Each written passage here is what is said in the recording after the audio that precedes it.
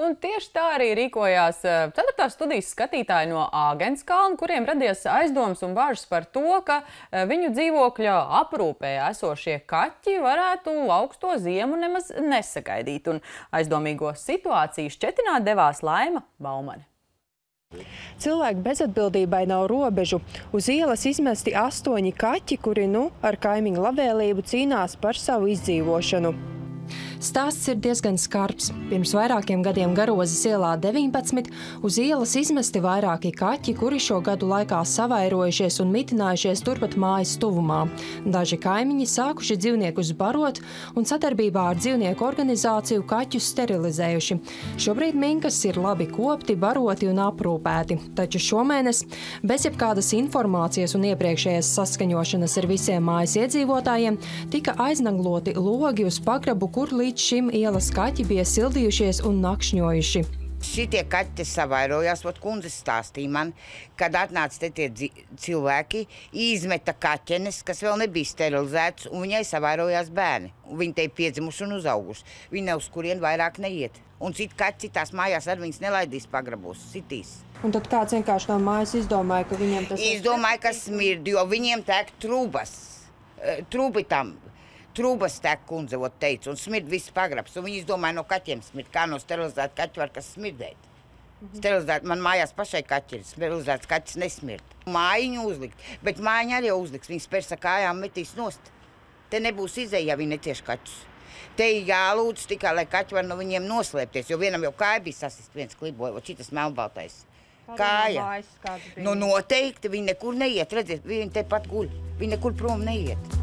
Neapvaicājot visus nama iemītniekus, tika pieņemts vienpusīgs lēmums - pagraba logus aiznaglot, atstājot kaķus likteņa varā.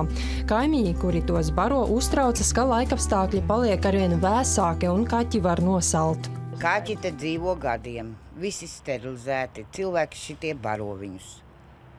Nama pārvaldniece nevācot nekādus parakstus, cik ir informācija no mājas iedzīvotājiem, lika, lai aizsit pagraba lokus. Palīdziet, vai nu kaķu mājas, lai liek, vai nama pārvalde kaut ko dara. Garozes ielas iemītnieki uzskata, ka pie vainas ir viņu mājas apsaimniekotājs Rīgas namu pārvalde. Tad nu vēršamies pie tās, lai izskaidro radušo situāciju. Liels gan ir pārsteigums, ka Rīgas namu pārvalde par aiznaglotajiem pagraba logiem nekā nezina. Mūsu mēsēji neko nav darījuši. Es viņus mēs tā nedēļ jau zvanīju. Tas tās noteikti ir pašas pašdarbība no mājas un mēs neko tur nesam darījuši. Jūs tur nevarat iejaukties kaut ko, es nezinu, risināt? Tā, garoze 19, jā? Jā. Tā, tur viņiem ir kaut kāds arī mājas vecākais, man liekas, ka viņiem ir. Tā mājas vecākos atzinās un, un, un. Jā. Tad Vēršamies arī pie dzīvnieku aizstāvju organizācijas, lai noskaidrotu, vai mājas iedzīvotāji vispār drīkst pēc savas iniciatīvas kādu no pagraba logiem ziemas laikā atstāt vaļā.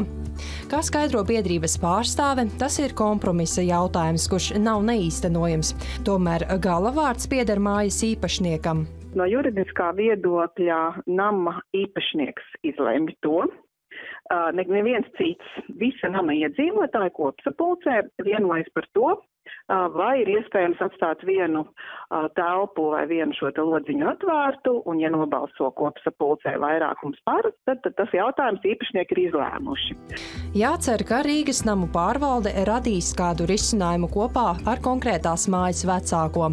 Dzīvnieku draugs pārstāve gan uzskata, ka ja visi kaķi ir sterilizēti un par tiem daži no kaimiņiem iestājas un rūpējas, problēmām nevajadzētu būt un savstarpējās sarunu ceļā lietu var atrast atrisināt. Par mierīgu līdzās pastāvēšanu varētu arī kalpot kaķu māja. Tomēr, kā jau dzirdējām no iedzīvotājiem, Garozes ielā 19 tas īstenojams nav, jo daži no nama iedzīvotājiem pret kaķiem izjūt lielas antipātijas. Kaķu māja varētu būt labs risinājums, lai peļu junkuriem nav jāpavada augstās rudens un ziemas naktis uz ielas. Taču tas ir diemžēl iespējams tikai tādās vietās, kur kaķus mīl.